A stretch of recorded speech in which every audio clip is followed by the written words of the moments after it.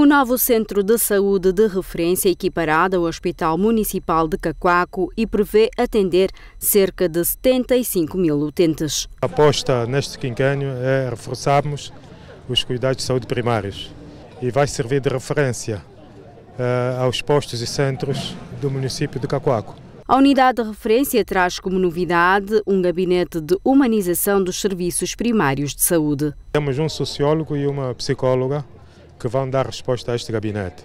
Portanto, o gabinete do utente e humanização eh, compõe um serviço integrado que, portanto, é uma mais-valia, porque sem humanização, tanto há uma eh, portanto, prestação, a princípio, negativa eh, daquilo que é a interação eh, profissional e paciente. O Centro de Saúde de Referência da Vila Cativa conta numa primeira fase com 50 profissionais. Né, médicos, eh, enfermeiros, técnicos diagnósticos, eh, administrativo. Quantos médicos?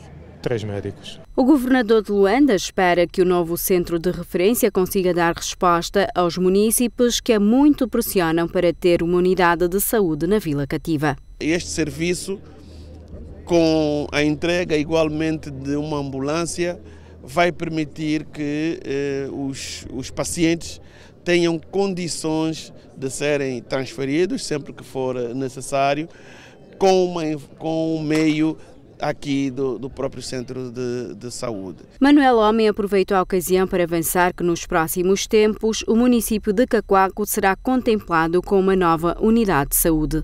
Aqui mesmo ao lado, no bairro Mayombe, eh, estamos também a privilegiar a construção de, uma, de um novo centro de um novo centro de referência que vai poder dar também resposta às populações. A unidade levou 18 anos a ser construída, mas o governador de Luanda já avançou que nesta altura o executivo está a privilegiar os projetos paralisados desde 2014.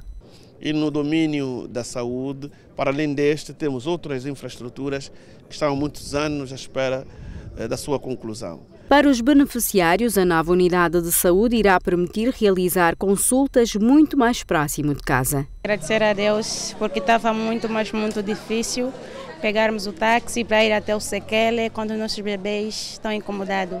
Agradecemos porque nos meteram aqui um hospital, é mais perto de casa, a qualquer hora, se tivermos a nos sentir mal, podemos aparecer aqui. Estou muito alegre com esta inauguração. Fazia minhas consultas na Funda e no Arto Estrada. Agora vou passar a fazer as consultas aqui.